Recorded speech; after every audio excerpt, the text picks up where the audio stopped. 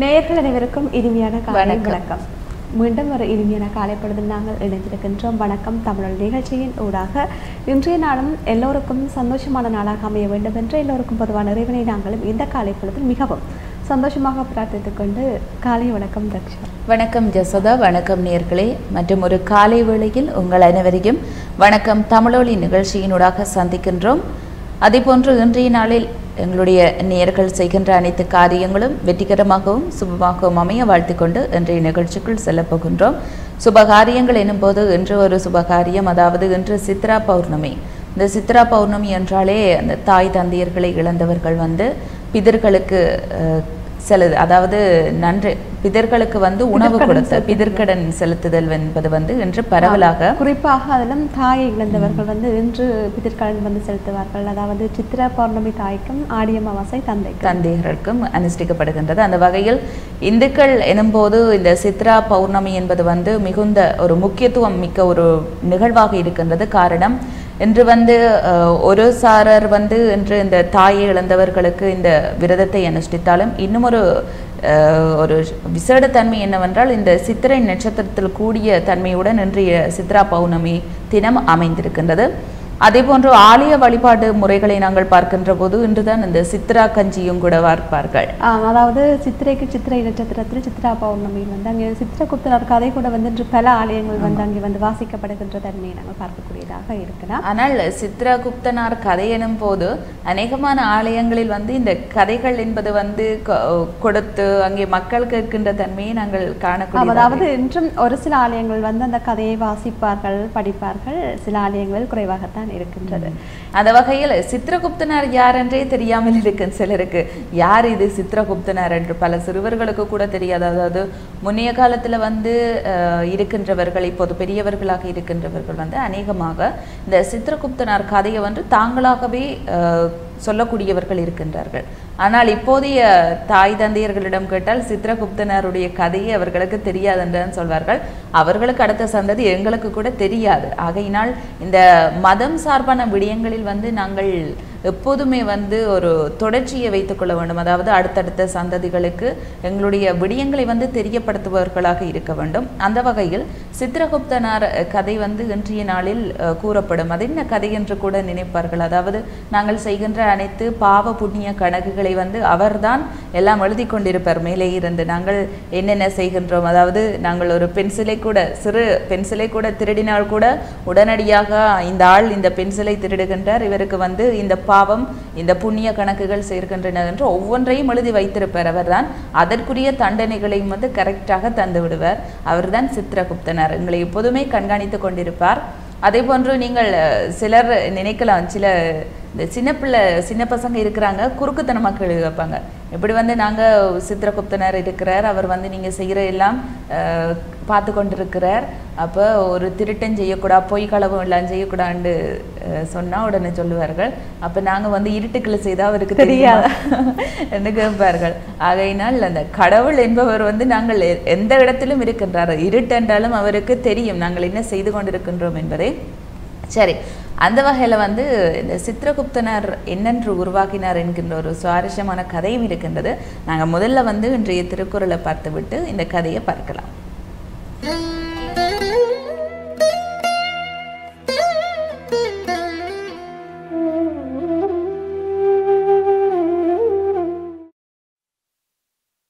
என்ற அடிப்படையில் பழமை என்கின்ற அதிகாரத்திலிருந்து ஒரு குரலை எடுத்திருக்கின்றோம். கேளுக்கும் கேளா கெழு தகமை வல்லார்க்கு நாள் எடுக்கும் நட்டார் செய். நண்பரின் குற்றங்குறைகளை பிறர் சொன்னாலும் கேளாத நட்புரிமை வல்லவர்களுக்கு நண்பர் குற்றம் செய்தால் அது அந்த நாளின் குறையாகவே தோன்றும். கேளுக்கும் கேளா கெழுதகமை வல்லார்க்கு நாள் எழுக்கம் நட்டார் செய்.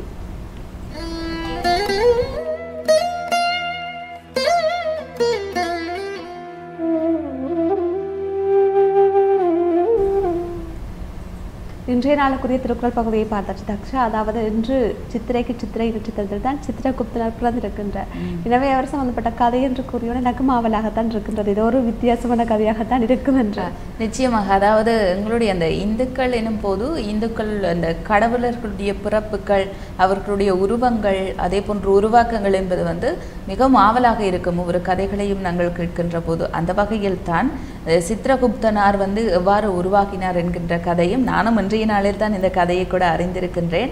அதாவது ஒரு அதாவது இந்த பாவ புண்ணிய கணக்குகளை வந்து செய்பவர் மேற்கொள்பவர் தான் இந்த சித்திரகுப்தனர் இவரை வந்து எவ்வாறு உருவாக்கினது என்றால் சிவபெருமான் ஒரு தங்கத்தட்டில் வந்து பொன் நெல் பொன்மணிகளை பரப்பி அந்த அதில் வந்து ஒரு சித்திரத்தை வரைகின்றார். அந்த சித்திரத்தை வரைகின்ற போது அவர் கூப்பிட்டு உமாதவியாரை கூப்பிட்டு அந்த சித்திரத்தை பார்க்க சொல்கின்றார்.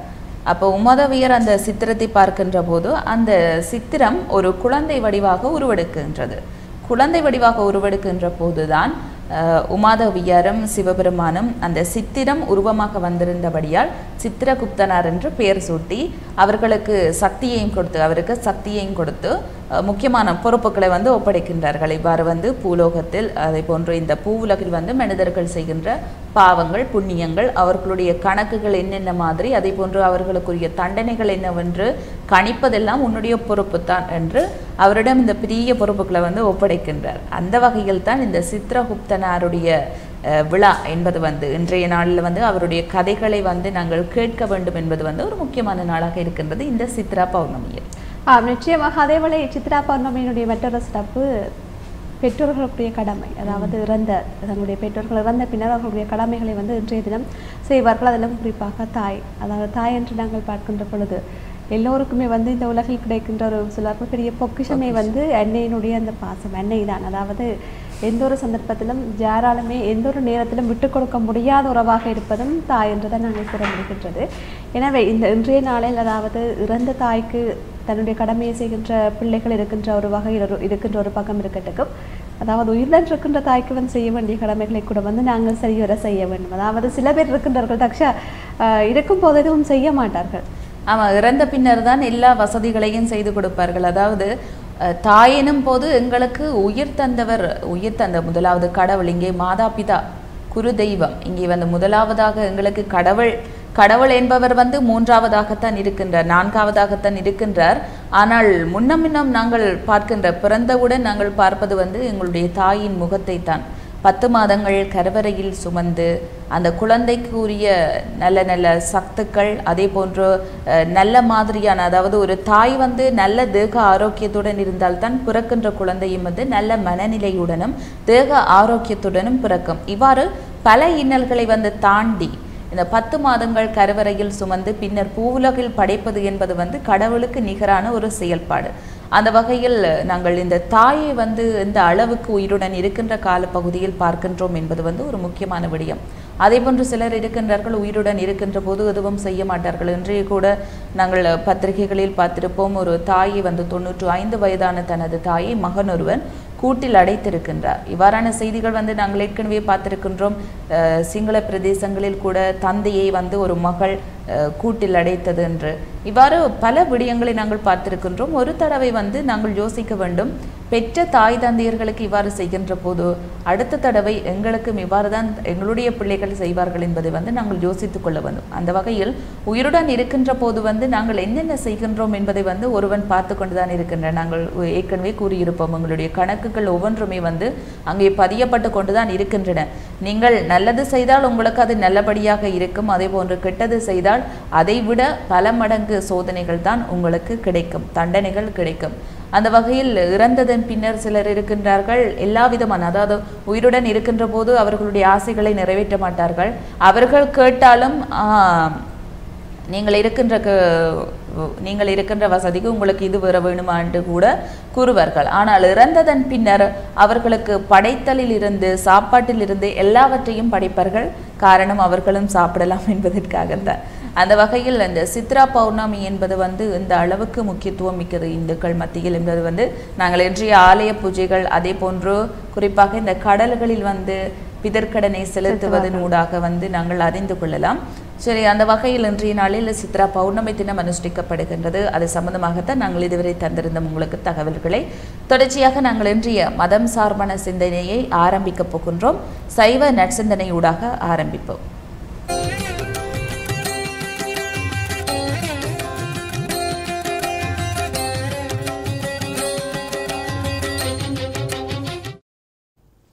ஹோம்.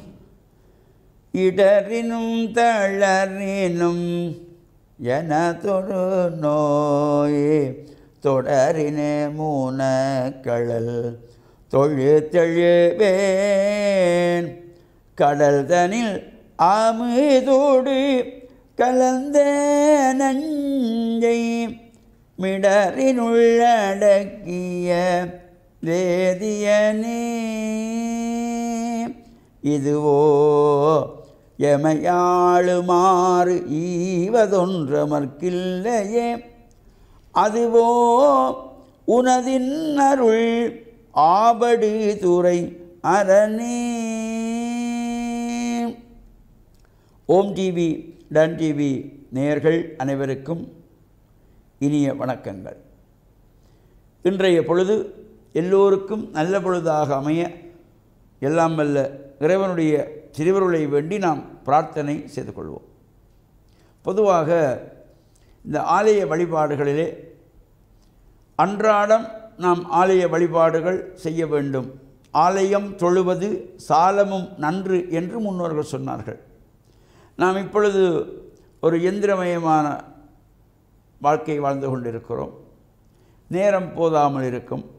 வேலைப்பழுக்கள் காரணம். எனவே அன்றாட நமக்கு ஆலயத்துக்கு செல்ல முடியாவிட்டாலும் விசேஷமான நாட்கள் வெள்ளிக்கிழமை செவ்வாய்க்கிழமை பௌர்ணமி நாட்கள் அதேபோல் விசேஷமான நட்சத்திர நாட்கள் உற்சவ காலங்கள் பிரதோஷ காலங்கள் இவ்வாறான நாட்களிலாவது நாங்கள் இந்த ஆலய வழிபாடுகளை செய்ய வேண்டும். பொதுவாக இந்த பிரதோஷ கால பூஜை வழிபாடுகள் சிவன் ஆலயங்களிலே சிறப்பானதாக நடைபெறும். இந்த பிரதோஷ காலத்திலே சிவனுடைய ஆலயங்கள் மூலமூர்த்தியாக சிவன் அமர்ந்திருக்கின்ற சிவன் கோவில்களிலே இந்த பிரதோஷ பூஜை பிரதோஷ உற்சவங்கள் சிறப்பாக நடைபெறும். அவ்வாறான அந்த சிறப்பான பூஜை வழிபாடுகளிலே நந்தியம்பெருமானிடத்திலே அந்த விசேஷமான பூஜை ஆரம்பமாகி நந்தியம்பெருமானுக்கு அபிஷேகங்கள் நடைபெற்று அந்த நந்தியினுடைய இரண்டு கொம்புகளுக்கும் நடுவிலே மூலமூர்த்தியை பார்த்து தீபாராதனை செய்து வழிபாடுகள் செய்து சோமசூத்திர பிரதட்சணம் என்று அந்த வழிபாடு. ஏனைய காலங்களில் நாங்கள் இறைவனை பலமாக வருவோம் பூரணமாக சுற்றி வருவோம். ஆனால் இந்த பிரதோஷ காலத்திலே இந்த நந்தியம்பெருமானத்திலிருந்து மூலாலயத்திலிருந்து நாங்கள் அந்த மூலஸ்தானத்துக்கு முன்பாக இருந்து புறப்பட்டு பலமாக வந்து கோமுகை வரையிலே அந்த மூலஸ்தானத்திலிருந்து அபிஷேக தீர்த்தங்கள் வருகின்ற கோமுகை என்கப்படுகின்ற அந்த இடம் வரையிலே வந்து மீண்டும் திரும்ப நந்தியம்பெருமானத்தை வந்து இவ்வாறு இந்த மூன்று தரம் சோமசூத்திர பிரதட்சணம் என்று இந்த வழிபாடு நடைபெறும். இது குறிப்பாக சிவன் ஆலயங்களிலே சிறப்பானதாக கொண்டாடப்பட்டு வரும். அங்கே இந்த பூஜைகள் நிறைவு பெற்றதும் அந்த பிரதோஷ உற்சவமூர்த்தியாக விசேஷ பூஜைகளோடு செய்யப்பட்டு இந்த சுவாமி வலம் வருகின்ற பொழுது கூட இது சில ஆலயங்களிலே மூன்று தரம்பலமாகவும் சில ஆலயங்களிலே ஒரு தரம்பலமாக வருவார்கள். அவ்வாறு மூன்று தரம்பலமாக வருகின்ற பொழுது முதல் பலம் வருகின்ற பொழுது வேத பாராயணங்களோடு தேவார திருவாசகங்களோடு அதேபோல் நாதஸ்வர தமிழ் இசைகளோடு இவ்வாறு இந்த பிரதட்சணங்கள் சுவாமி பலமாக வருகின்ற இந்த பிரதோஷ காலத்திலே வழிபாடு செய்கின்றவர்களுக்கு எல்லா விதமான தோஷங்களும் நீங்கி வாழ்வில் நாம் அடைய வேண்டிய சிறப்பு அடைகின்ற வகையிலே அங்கே காப்பரிசி நிவேதனமாக வழங்குவார்கள் பிரசாதமாக.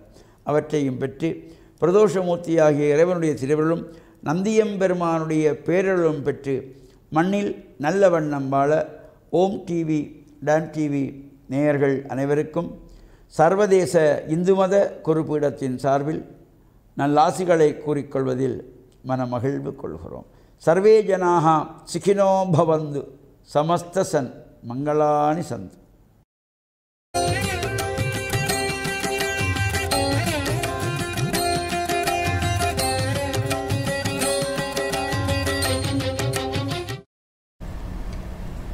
சைவ சிந்தனை பகுதியத்தில் வந்து நாங்கள் மீண்டும் இணைந்திருக்கின்றோம்.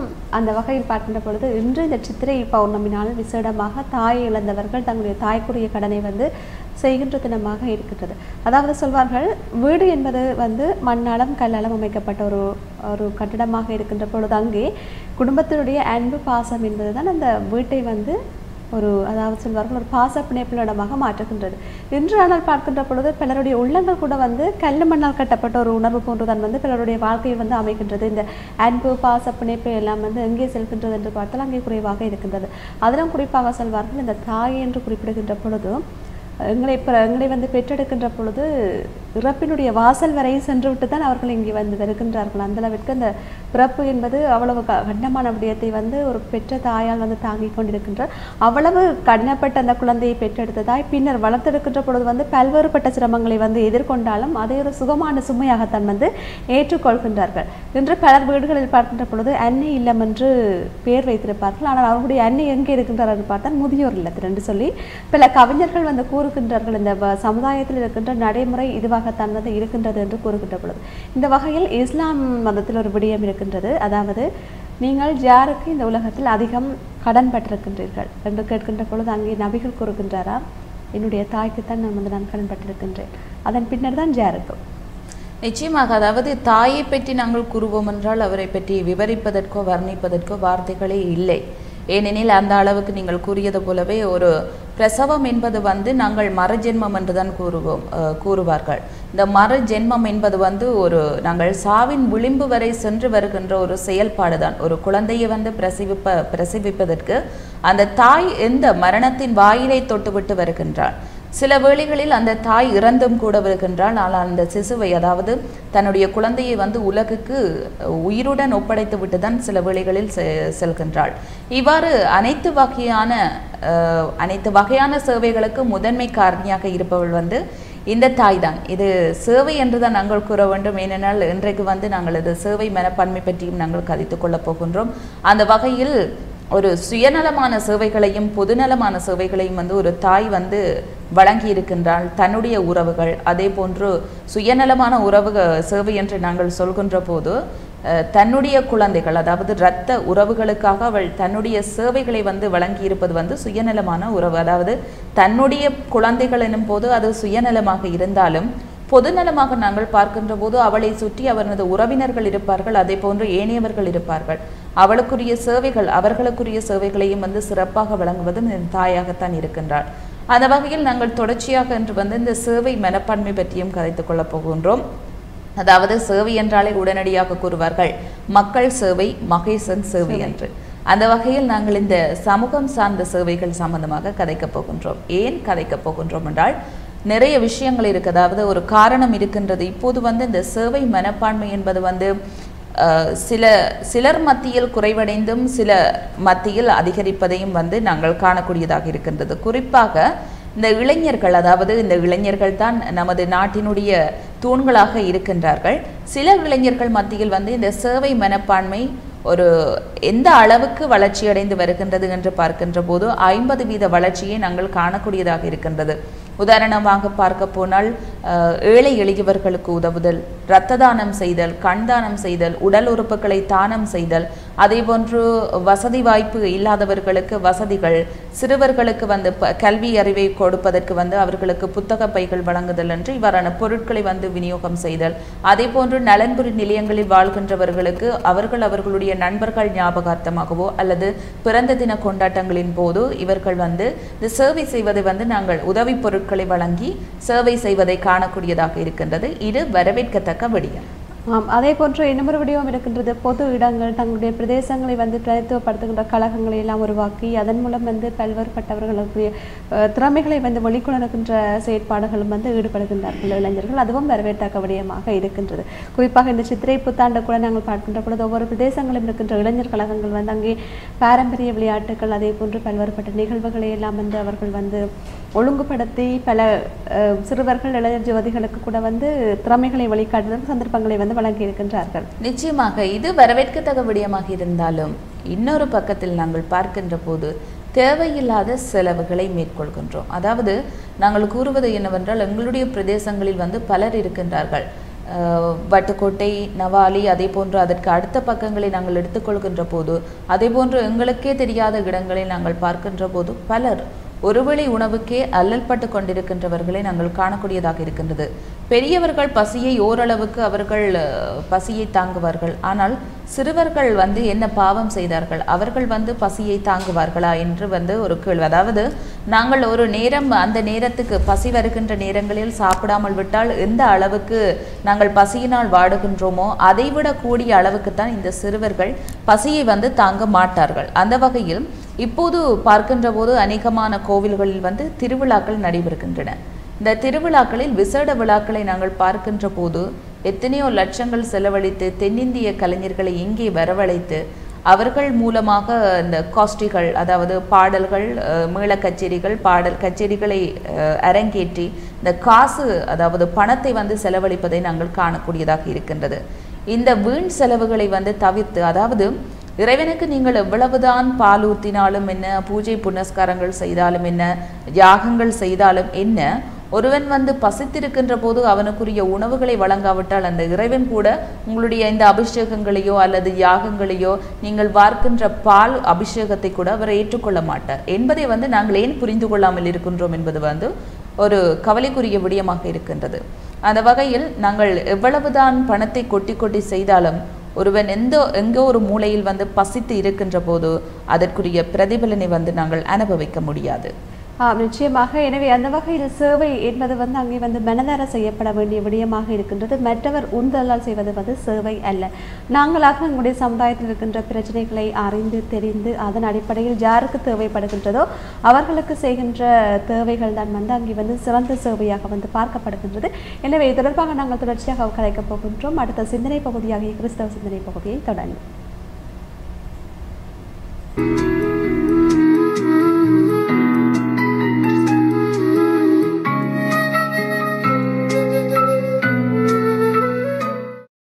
இறைவன் பிதா சுதன் தூய ஆவியாக இருக்கின்றார் என்று நாங்கள் பார்த்தோம்.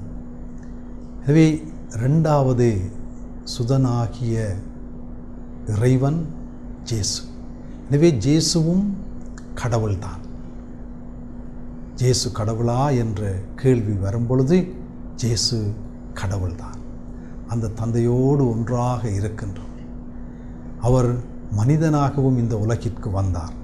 ஏன் வந்தார் என்று நாங்கள் பார்க்கும் பொழுதுதான் இறைவனாலே படைக்கப்பட்ட இந்த அற்புதமான படைப்பாகிய மனிதன் அவருடைய கட்டளைகளை மறந்தவனாக ஒவ்வொரு தீய செயல்களை செய்கின்றவனாக அவனுடைய வழியிலே இருந்து வேறு வழியிலே செல்பவனாக வேறு தெய்வங்களை வழிபடுபவனாக இவ்வாறு இருக்கின்ற வேளையிலே அந்த இறைவன் தன்னை விட்டு பிரிந்த இந்த மக்களை என்ன செய்வதென்றே தெரியாமல் இருக்கின்ற வேளையிலே அவர்களும் தண்டனைக்கு உள்ளாக்கப்படுகின்றார்கள்.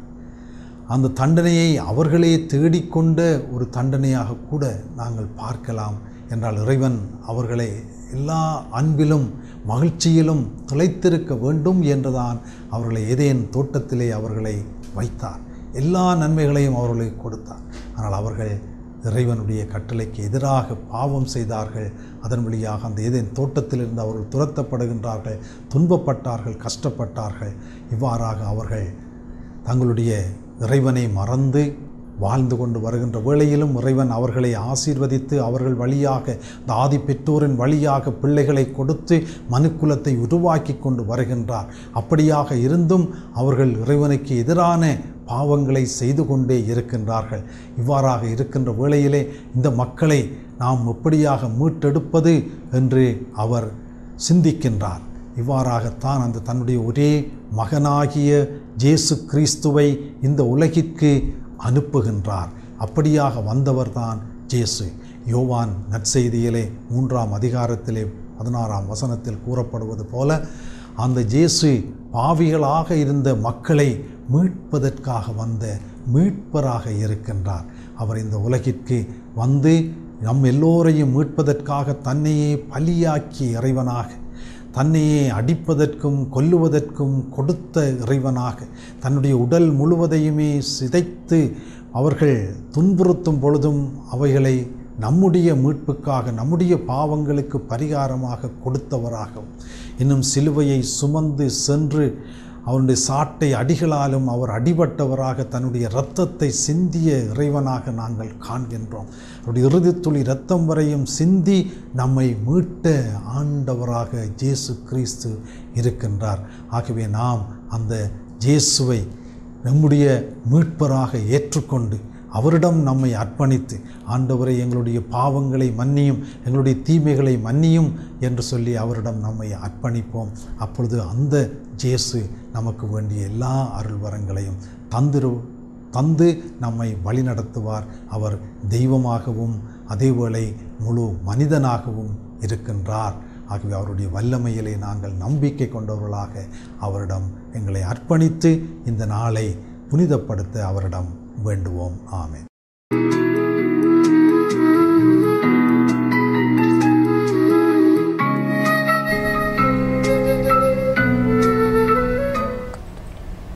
கத்தோலிக்க சிந்தனையை தொடர்ந்து நாங்கள் இணைந்திருக்கின்றோம். இன்றைய நாளில் இந்த சமூக சேவை சம்பந்தமாக அதாவது சேவை எனும் போது நாங்கள் பல விடயங்கள் சம்பந்தமான சேவைகள் பற்றி கதைத்துக் கொள்ளப் போகின்றோம். அதில் வந்து இப்போது நாங்கள் இந்த சமூக சேவை சம்பந்தமாகத்தான் கதைத்துக் கொண்டிருக்கின்றோம். அதில் ஒரு விடயம் கூற வேண்டும் தக்ஷா. அந்த சேவை கண்டு வருகின்ற பொழுது பலர் சொல்வார்கள் எங்களிடம் பணம் இல்லை.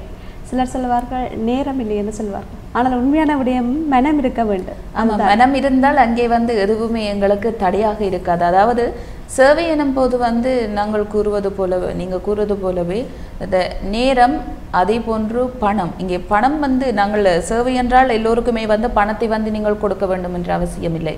அதே போன்று மனம் இருந்தாலே நாங்கள் எந்த ஒரு சேவைகளையும் மேற்கொள்ளலாம். குறை கூறுவதற்கு நேரத்தை வந்து நாங்கள் எடுத்துக்கொள்ள மாட்டோம்.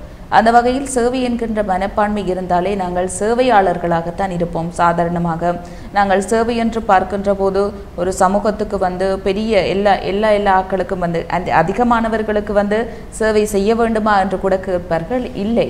அதாவது நாங்கள் ஒருவருக்கு சேவை செய்தால் கூட அது சேவைக்குள் தான் சென்றுவிடும். நிச்சயமாக இந்த சேவை என்பது உத்தமமானது. சேவை செய்கின்றவர்கள் தான் உத்தமமானவர்கள் என்பதை வந்து புலப்படுத்துவதற்கு ஒரு குட்டி கதை இருக்கின்றது. அதாவது அண்மையில் வாசித்த ஒரு கதை தான் அதாவது இந்த கதையில் வருகின்ற கதாபாத்திரம் வந்து ஒரு சிறுவன். ஒரு குட்டி சிறுவன் தான் வருகின்றார். முக்கியமான கதாபாத்திரமாக. இதில் அந்த சிறுவனுடைய ஊரில் வந்து ஒரு பெரிய ஞானி ஒருவர் போகின்றார் அவருடைய அவரிடம் ஆசீர்வாதம் வாங்குவதற்கென்று அந்த கிராம மக்களை வந்து பலர் வந்து போட்டி போட்டுக் கொண்டிருக்கின்றார்கள் பல வசதி படைத்தவர்கள். ஆனால் இந்த சிறுவனை பார்க்கின்ற பொழுது ஒரு இழைப்பட்ட சிறுவனாக இருக்கின்றார். எனவே ஞானியை வரவேற்கின்ற போது அங்கே வந்து இருக்கின்ற பெரிய பெரிய வசதி வசதி வாய்ப்பு படைத்தவர்கள் எல்லாம் என்ன செய்கின்றார்கள் என்றால் பரிசு பொருட்களை வந்து ஏராளமாக வாங்கி வைக்கின்றார்கள். அப்போ அவர்களிடம் மத்தியில் தாங்கள் தான் முதலில் சென்று ஞானியிடம் வந்து ஆசீர்வாதம் வாங்குவோம் என்கின்ற எண்ணம் அந்த இந்த வசதி படைத்தவர்களிடம் இருக்கின்றது. எனவே ஊர் முழுவதும் அறிவிக்கப்படுகின்றது. ஞானி வரப்போகின்றார். மிகப்பெரிய ஞானி. அவரிடம் ஆசீர்வாதம் வாங்க விரும்புகின்றவர்கள் அவருக்கு ஒரு பரிசு பொருளை கொடுத்துவிட்டு நீங்கள் வந்து ஆசீர்வாதம் வாங்கலாம் என்று சொல்லி கூறுகின்றார்கள்.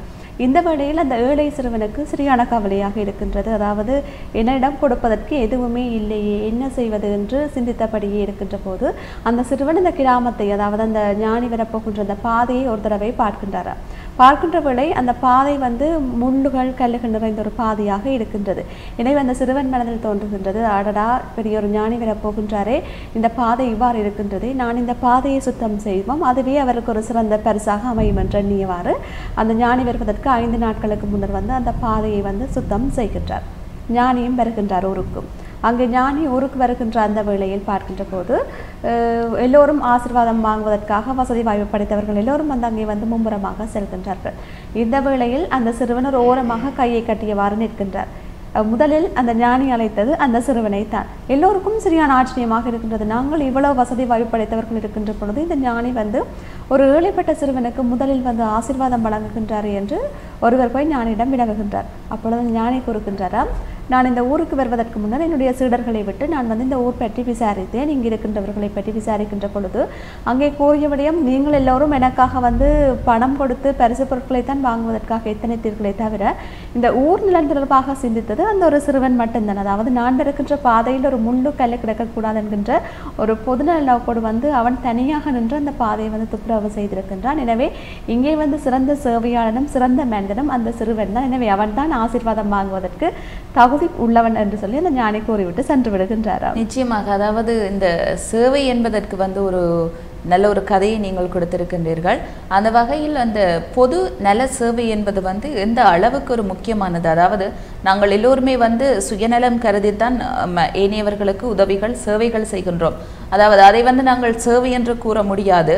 சுயநலமான ஒரு உதவிகளைத்தான் நாங்கள் செய்து கொண்டிருக்கின்றோம். அதன் மூலம் எங்களுக்கு எதுவித நன்மையுமே ஏற்பட போவதில்லை. இங்கே பொதுநலம் எனும் போது எதுவித பிரதி உபகாரமும் வந்து நாங்கள் கருதாமல் செய்ய வேண்டும். அதாவது நாங்கள் இந்த சேவை எனும் போது ஒரு பசித்திருக்கின்றவனுக்கு வந்து நாங்கள் உணவு கொடுக்கின்ற போது அந்த அவனுக்கு கொடுக்கின்ற அந்த உணவின் மூலமாக நாங்கள் எதுவித பிரதி உபக பிரதி பலன்களை வந்து எதிர்பார்க்க கூடாது அவ்வாறான சேவைகள் தான் எங்களுக்கு வந்து எப்போது அதாவது நாங்கள் ஏற்கனவே கூறியது போன்று இந்த தர்மம் தலை காக்கும் தக்க சமயத்தில் உயிர் காக்கும் என்பது போன்று இந்த பிரதி பலன் இல்லாத சேவை என்பது வந்து பொதுநலமான சேவை என்பது வந்து நாங்களும் இயலாமல் இருக்கின்ற காலப்பகுதியில் இன்னொருவர் மூலமாக எங்களுக்கு கிடைக்கக்கூடியதாக இருக்கு. ஆம் நிச்சயமாக. ஆனால் இன்று பலர் வந்து பார்க்கின்ற பொழுது பொதுநல சேவை என்று சொல்வார்கள் ஆனால் பகட்டுக்காகத்தான் வந்து செய்வார்கள். அதாவது தாங்கள் பொதுநல சேவையில் ஈடுபடுகின்றோம் என்பதை இந்த சமுதாயம் வந்து பார்க்க வேண்டும் என்பதற்காக அதிலும் ஒரு பிரதிபலன் வந்து எதிர்பார்த்திருப்பார்கள். அதாவது இதில் ஒரு பலனாக இருக்க வேண்டும் என்ற சுயநலம்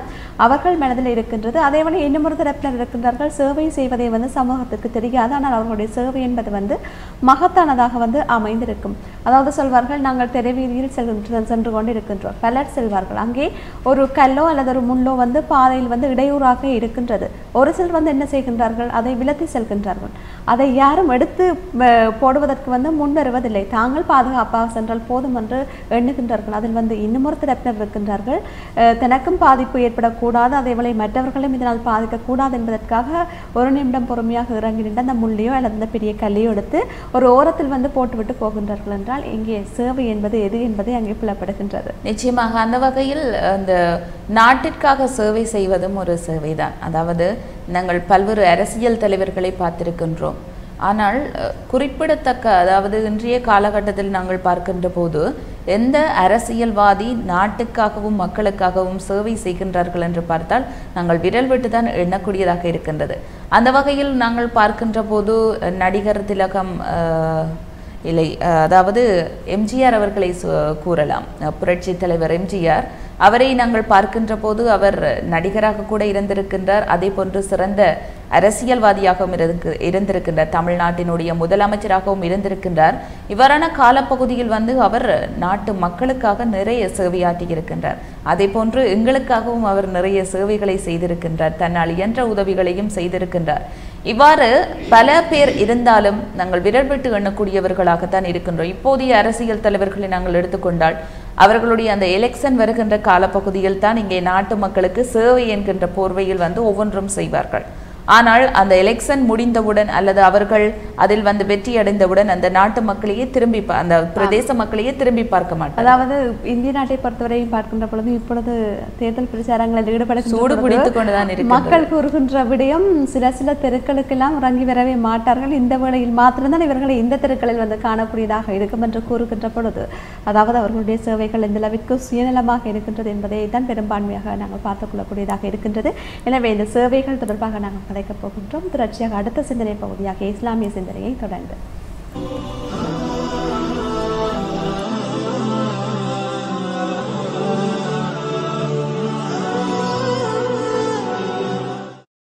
நேர்கள் அனைவருக்கும் அஸ்ஸலாமு அலைக்கும் வரமத்துல்லாஹி வபரகாத்துஹு. டேர்ன் டிவி வழங்கும் நற்சிந்தனையினூடாக உங்களை சந்திப்பதில் நாம் மிக்க மகிழ்ச்சி அடைகின்றோம் கணியத்துக்குரிய அல்லாஹுவின் நல்லடியார்களே அருமை சகோதரர்களே நேர்களே அல்லாஹ் சுபஹான வத்தாலா குறுகிய காலம் இந்த உலகத்தில் வாழ்வதற்காக வேண்டி எம்மை படைத்து அனுப்பியிருக்கின்றான். இந்த வாழ்வு நிரந்தரமற்ற ஒன்றாக இருந்து கொண்டிருக்கிறது. ஒவ்வொருவருக்கும் மரணம் என்பது நிச்சயிக்கப்பட்ட ஒன்றாக இருந்து கொண்டிருக்கிறது.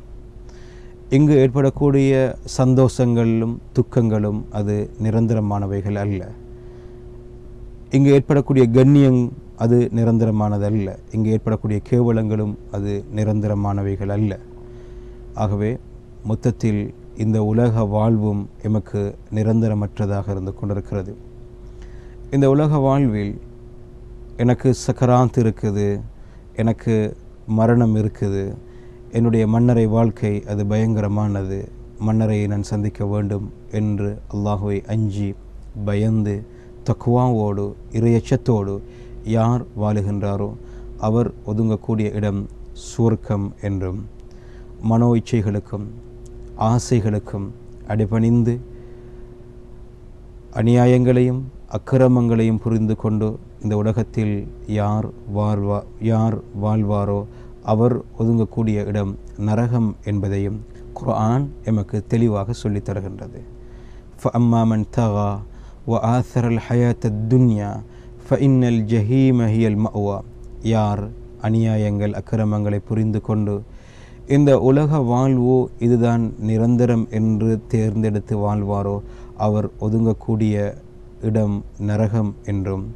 ஒ அம்மாமன் ஹாஃப மகா ரப்பிஹி ஒனஹன் நப்ஸ் அனில் ஹவா ஃப இன்னல் ஜன்னதஹியல் மவ்வா அல்லாஹுடைய சன்னிதானத்தை அஞ்சு பயந்து எனக்கு சக்ராத் இருக்குது. சக்ராத் என்று சொன்னால் மரணத்துடைய அந்த வியாதி அது பயங்கரமானது. எனக்கு மரணம் இருக்கிறது மன்னரை வாழ்வு என்னுடைய மன்னரை வாழ்வு அது பயங்கரமானது என்று அல்லாஹுவை அஞ்சி பயந்து தக்குவாவோடு யார் வாழுகின்றாரோ அவர் ஒதுங்கக்கூடிய இடம் சுவர்க்கம் என்பதையும் குர்ஆன் எமக்கு தெளிவாக சொல்லித் தருகிறது ஆகவே சொர்க்க சுவர்க்கம்தான் எமது லட்சியமாக இருக்க வேண்டும். அந்த சுவர்க்கத்தை அடைவதற்காக வேண்டி இந்த உலகத்தில் நாங்கள் நல்ல அமல்களை நல்ல காரியங்களை நாங்கள் செய்ய வேண்டும். குறிப்பாக நாம் செய்யக்கூடிய தவறுகளில் இருந்து விடுபட்டு நாங்கள் சுவர்க்கத்துக்கு தகுதியானவர்களாக எங்களை ஆக்கிக்கொள்ள வேண்டும். நாம் செய்யக்கூடிய தவறுகளுக்காக வேண்டி அல்லாஹிடத்தில் பாவ மன்னிப்பு தேட கடமைப்பட்டிருக்கின்றோம்.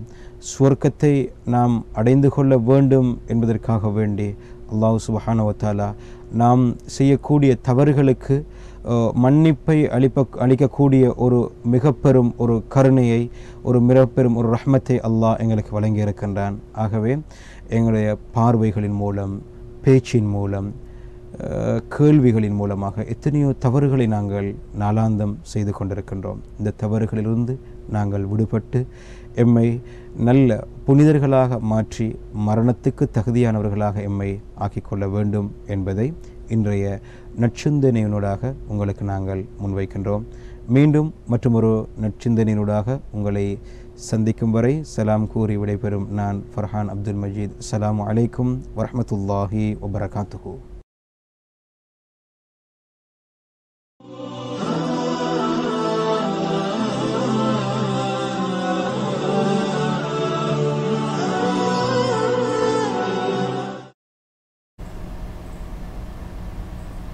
இஸ்லாமிய சிந்தனை பகுதியில் இணைந்திருக்கின்ற முன்றைய நாளில் சேவைகள் தொடர்பாக நாங்கள் பார்க்கின்ற பொழுது இங்கே வந்து பலதரப்பட்டவர்களால் கூறப்படுகின்ற முக்கியமான விடயம் இந்த சேவைகளில் ஈடுபட வேண்டியவர்கள் முக்கியமாக இளைஞர்கள் தான். அதாவது பல இளைஞர்கள் சேவைகளில் ஈடுபட்டாலும் இன்னும் சில இளைஞர்களுக்கு சேவை என்றாலே என்னென்னு தெரியாது இளைஞர் யுவதிகள். தனியே வந்து இளைஞர்களை மாத்திரம் கூறவில்லை. இளைஞர் யுவதிகள் அதாவது ஒரு சமூகத்தை வந்து சரியான நேர்வழியில் கொண்டு செல்ல வேண்டிய பெரிய பொறுப்பு வந்து இந்த இளைஞர்களுக்கு இருக்கின்றது. அதாவது பெரியவர்களுடைய அனுபவத்தை வைத்துக்கொண்டு அங்கே வந்து பலதரப்பட்ட செயற்பாடுகளை மேற்கொள்ள வேண்டியவர்கள் தான் வந்து இந்த இளைஞர்களாகவும் யுவதிகளாகவும் இருக்கின்ற பொழுது இன்றைய காலகட்டத்தில் வந்து பல இளைஞர் யுவதிகள் என்ன செய்கின்றார்கள் என்றால் அதாவது தேவையற்ற விடயங்களில் ஈடுபடுதல் அதாவது பணம் கிடைக்கின்ற பொழுது அதை எவ்வாறெல்லாம் பயன்படுத்துவது தெரியாமல் தேவையற்ற கேளிக்கைகள் கொண்டாட்டங்கள் ஆடம்பர செலவுகள் என்றவாறாக தங்களுடைய வாழ்க்கையை ஒரு அதாவது மாற்றி அமைத்து கொண்டு இருக்கின்றார்கள். இந்த இவ்வாறான இளைஞர்கள் மத்தியிலும் அங்கே வந்து ஒரு சில இளைஞர்கள் வந்து சமூகத்துக்காக சேவையில் ஈடுபடவும் வந்து அங்கே வந்து அவர்கள் தயங்கவில்லை. குறிப்பாக சொல்வார்கள் இந்த கல்வி ரீதியாக வந்து பல சேவைகளை சமூகத்தில் நாங்கள் செய்கிறோம் இன்று எங்களுடைய சமூகத்தை பொறுத்தவரையில் வந்து வறுமைப்பட்ட மாணவர்கள் கல்வியை பெற்றுக்கொள்ள முடியாமல் கஷ்டப்படுகின்ற மாணவர்கள் வந்து பலர் இருக்கின்றார்கள். அதாவது இவ்வாறான மாணவர்களுக்கு அங்கே வந்து செய்ய வேண்டிய சிறந்த சேவையாக இருப்பது படித்த இளைஞர் யுவதிகள் ஒன்றாக சேர்ந்து இவ்வாறான இடங்களை வந்து இனங்கண்டு அங்குள்ள மாணவர்களுக்கு இலவசமாக கல்வியை போதிக்கக்கூடிய அளவிற்கு அவர்கள் தங்களுடைய சேவைகள் ஈடுபட வேண்டும் என்று கூறப்படுகின்றது. பல இளைஞர் ஜுவதிகள் அவ்வாறான செயற்பாடுகளிலும் ஈடுபட்டு வருகின்றார்கள். ஆமாம் அதாவது இறைவனை வணங்குவதுதான் இறை சேவை என்று நாங்கள் நினைக்கக்கூடாது. இங்கே வந்து ஏனையவர்களுக்கு சேவை செய்வதுதான் உண்மையான ஒரு இறை வழிபாடாக இருந்து கொள்ளும். அந்த வகையில் நம்முடைய நாட்டை நாங்கள் எடுத்துக்கொண்டால் பசி வறுமை பட்டினி அதே போன்று ஒரு நேர உணவு இல்லாமை என்று எல்லா வகையான துன்பங்களையும் வந்து நம்முடைய மக்கள் அனுபவித்துக் கொண்டிருக்கின்றார்கள். அந்த வகையில் இதற்கு வந்து இன்னும் தூண்டுதலை கொடுத்திருக்கின்றது நம் நாட்டில் இடம்பெற்ற இந்த உள்நாட்டு யுத்தம். இந்த உள்நாட்டு யுத்தம் காரணமாக பலர் வந்து பல வேதனைகளையும் அதே போன்று பல இழப்புகளையும் சந்தித்தவர்கள் இருக்கின்றார்கள். சிறு குழந்தைகள் தாயை இழந்திருக்கின்றார்கள் தந்தையை இழந்திருக்கின்றார்கள் கணவனை இழந்திருக்கின்றார்கள் மனைவியை இழந்திருக்கின்றார்கள் அதே போன்று உற்றார் உறவினர்களை இழந்தவர்கள் கூட இருக்கின்றார்கள். இவ்வாறானவர்களை விட நம்முடைய பிரதேசங்களிலும் வந்து பார்க்கின்ற போது பலர் வந்து ஏழ்மைப்பட்டவர்கள் இருக்கின்றார்கள். அதே போன்று இந்த ஏழ்மை காரணமாக இலவசமாக கிடைக்கின்ற இந்த கல்வி அறிவை கூட பெற முடியாத வகையில் பல தடங்கல்களை சந்தித்து கொண்டிருக்கின்ற மாணவர்கள் பிள்ளைகள் கூட இருக்கின்றார்கள். இந்த இவ்வாறான பல இன்னல்கள் அதே போன்ற தடைகள் இருக்கும் வரை ஒரு நாடு என்பது வந்து அபிவிருத்தியை நோக்கி முன்னோக்கி செல்லாது. அதாவது நாங்கள் நாட்டை வந்து அபிவிருத்தி அடைய செய்ய வேண்டுமாக இருந்தால் முதலில் நம்முடைய பிரதேசங்களில் இருக்கின்ற இந்த குறைபாடுகளை வந்து நாங்கள் இனம் கண்டு களைந்து எறிய வேண்டும். பொதுவாக இந்த தொண்டு நிறுவனங்கள் என்பது வந்து ஒவ்வொரு பிரதேசத்துக்குமே இருக்க வேண்டிய ஒரு முக்கியமான நிறுவனமாக இருக்கின்றது. இந்த தொண்டு நிறுவனங்கள் மூலமாகத்தான் இந்த சேவையை வழங்கக்கூடிய வாய்ப்புகளை வந்து நாங்கள் ஏற்படுத்திக் கொள்கின்றோம். பல தொண்டு நிறுவனங்கள் இருந்தாலும் சில தொண்டு நிறுவனங்களுடைய இடையூறான செயல்பாடுகள் காரணமாக மக்களுக்கு வந்து சரியான உதவிகள் சென்றடைய முடிவதில்லை என்பது வந்து தற்காலத்தில் ஒவ்வொருவருடைய மனக்குமுறல்களாக இருக்கின்றன. அதாவது புலம்பெயர் தேசத்தில் இருக்கின்ற எங்களுடைய உறவுகள் இவ்வாறு பாதிக்கப்பட்டவர்கள் அதாவது போரினால் பாதிக்கப்பட்டவர்கள் அதே போன்று வறுமையில் பீடிக்கப்படுபவர்களுக்கு வந்து ஒரு உதவி தொகைகளையோ அல்லது பணங்களையோ கொடுக்கின்ற போது பொருட்களையோ கொடுக்கின்ற போது இடையில் இருக்கின்ற இந்த சுரண்டல் பேர் வழிகள் காரணமாக அந்த அவர்களுடைய உதவிகள் அதே போன்று அவர்களுக்கு வழங்கப்படுகின்ற உதவிகள் பண உதவிகள் என்பது வந்து சரிவர அவர்களிடத்தே சென்றடைய முடியாத நிலை கூட இருக்கின்றது. ஆகையினால் இந்த சுரண்டல் பேர் வழிகள் கொஞ்சம் யோசித்துக் கொள்ள வேண்டும். அதாவது நாங்கள் ஏற்கனவே கூறியிருக்கின்றோம் சித்திரகுப்தனர் வந்து எல்லாவற்றையும் பார்த்து கொண்டிருக்கின்றார் என்று. அவர் பார்த்து அதை நீங்கள் எந்த மதமாக இருந்தாலும் உங்களுடைய உங்களுடைய மதங்களில் வந்து நீங்கள் செய்கின்றவற்றுக்கு வந்து தண்டனை இருக்கின்றது. ஆகையினால் எல்லாவற்றுக்குமே வந்து ஒரு கணக்கு என்பது வந்து இருக்கின்றது. குறிப்பாக நாங்கள் சொல்லப்போனால் வெளிப்படையாக இவ்வாறான அதாவது அடுத்தவர்களுடைய பொருட்களை அபகரிப்பதற்கு வந்து நிறைய தண்டனைகள் இருக்கின்றது. ஆம் நிச்சயமாக. அதாவது நீங்கள் குறிப்பிட்ட இந்த விடயம் முற்றுமுழுதாக பல்வேறு பிரதேசங்கள் இடம்பெறுகின்ற விடயமாக இருக்கின்றது. அதாவது பல தரப்பட்டவர்கள் பல தேவைகளை உடையவர்கள் சமூகத்தில் இருக்கின்ற பொழுது அவர்களுக்கென்று இந்த தொண்டு நிறுவனங்கள் அதே போன்று இப்போ வெளிநாட்டு உதவிகள் என்றவாறாக பல உதவிகள் வந்து வழங்குவதற்கு பலர் முன்வருகின்றார்கள். இந்த வேளையில் சமூகத்தில் ஒரு பொறுப்பில் இருக்கின்றவர்கள் கையில் தான் அந்த பொறுப்பு இருக்கின்றது. யார் யார் என்பதை இனம் கண்டு அவர்களுக்கு என்ன தேவை என்பதை நீங்கள் நிறைவேற்ற வேண்டும் என்கின்ற ஒரு நம்பிக்கையின் அடிப்படையில் தான் வந்து இந்த நிறுவனங்களோ சரி ஏனைய வெளிநாட்டு உதவிகளோ சரி வந்து அங்கே அனுப்பப்படுகின்ற பொழுது இந்த சுரண்டல் என்பது உண்மையிலேயே வந்து நாங்கள் வந்து நடைமுறை வாழ்க்கையில் பார்க்கின்ற விடயமாக இருக்கின்றது. அதாவது அவர்கள் கொடுக்கின்ற உதவிகளில் சரி பாதி கூட சென்றடைவது என்பது அங்கே வந்து இல்லாமல் இருக்கின்றது. அதை விட இன்னும் ஒரு விடயம் அதாவது இருக்கின்றவர்களுக்கு விட அதான் இல்லை என்று இருக்கின்றவர்களுக்கு விட எல்லாம் வைத்திருக்கின்றவர்களுக்கும் இந்த உதவிகள் சென்றடைவதை பார்க்கக்கூடியதாக நிச்சயமாக. அதாவது நாங்கள் ஏன் இந்த விடயத்தை கூறுகின்றோம் என்றால் அனுமானத்தில் கூறவில்லை. இது வந்து நடைபெற்றதைத்தான் நாங்கள் கூறுகின்றோம். அதாவது இந்த புலம்பிய தேசத்தில் இருக்கின்றவர்கள் வந்து தங்களுடைய ஆடைகள் அதே போன்று அஹ், நல்ல நல்ல ஆடைகளை இங்கே அனுப்புவார்கள் ஒவ்வொரு இடங்களுக்கும் தொண்டு நிறுவனங்கள் வாயிலாக. நாங்கள் அதே போன்று இந்த எல்லா தொண்டு நிறுவனங்களையும் கூறவில்லை. ஒரு சில தொண்டு நிறுவனங்களை கூறுகின்றோம். அதே போன்று அங்கே மாதம் மாதம் அவர்களுக்குரிய உதவி பணத்தொகைகளை அனுப்பி வைப்பார்கள். இவ்வாறான உதவிகள் வருகின்ற போது இடையில் இருக்கின்ற இவ்வாறான முகவர்கள் அதாவது சுழண்டல் பேர்வழிகள் இவர்கள் அதிகமானவர்களை நாங்கள் பார்க்கின்ற போது இவர்கள் கஷ்டப்பட்டவர்களாக இருக்க மாட்டார்கள். எல்லா வசதிகளும் கொண்டவர்களாகத்தான் இருக்கின்றார்கள். ஆனால் அவர்களுக்கு மற்றவர்கள் அனுப்புகின்ற அந்த பொருட்கள் மீது ஆசை காரணமாக அந்த பொருட்களில் வந்து சரி அளவு வந்து தாங்கள் அரைவாசி எடுத்துவிட்டு மிகுதியைத்தான் அங்கே இருக்கின்றவர்களுக்கு கொடுக்கின்றார். நிச்சயமாக இந்த பொருட்கள் மாத்திரமல்ல. இது இன்று எங்களுடைய நாட்டில் கூட வந்து நடைமுறையில் இருக்கிற இந்த வீட்டு திட்டம் அதாவது இந்த வீட்டு திட்டம் கொடுக்கப்படுகின்றது. இன்று வடக்கு மாகாண சபையின் பல இடங்களில் வந்து கூறப்படுகின்ற குற்றம் பலர் வீடுகளை கட்டிவிட்டு வாடகையை கொடுத்து விட்டு வந்து விடுகிறார்களாம் என்றெல்லாம் குற்றம் எல்லாம் சுமத்தப்படுகின்றது.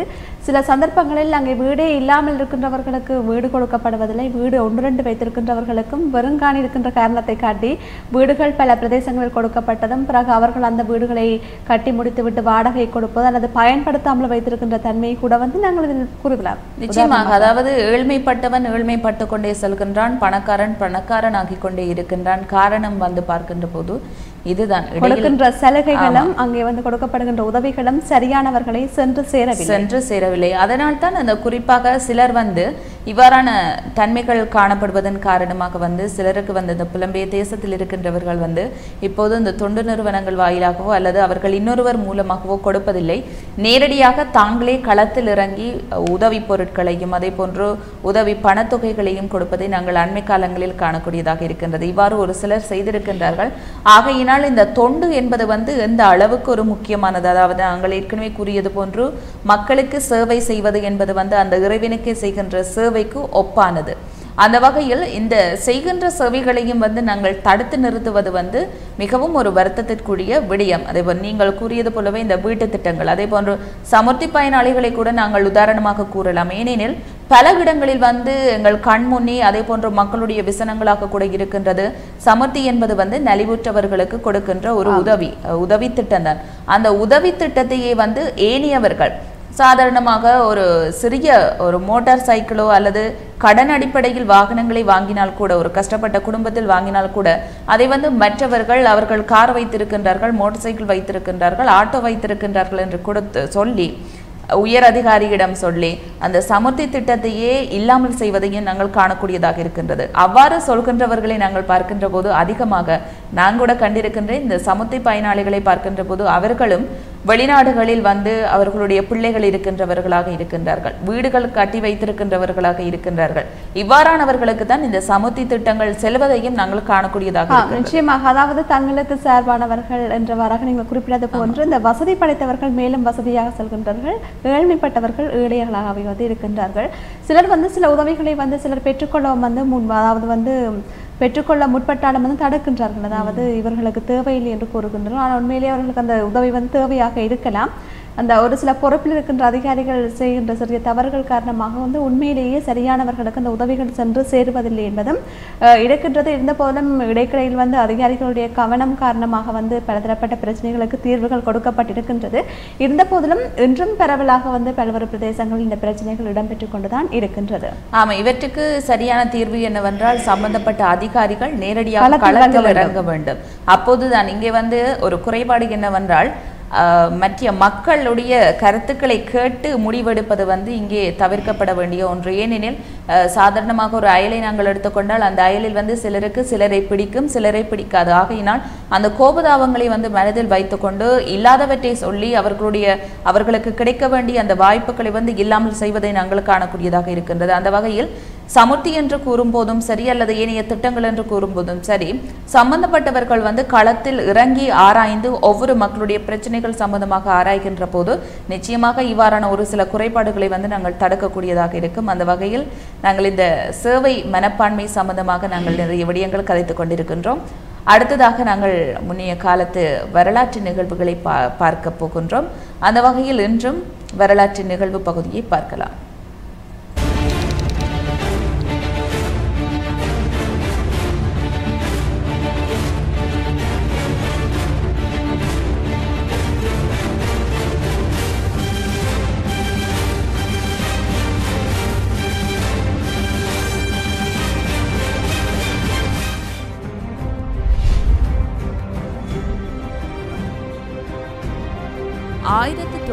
அறுபது. பிரசீலியா பிரேசிலின் தலைநகராக ஆக்கப்பட்டது.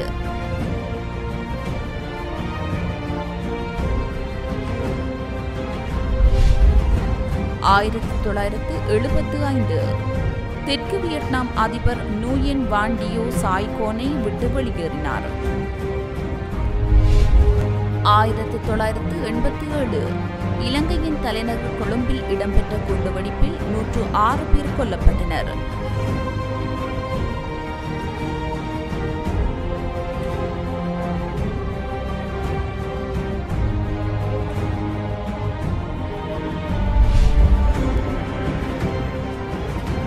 ஆயிரத்து தொள்ளாயிரத்து தொன்னூற்று நான்கு சூரிய குடும்பத்திற்கு வெளியே கோள்கள் இருப்பதை முதன் முதலில் வானியலாளர் அலெக்சாண்டர் வால்க்ஷான் அறிவித்தார்.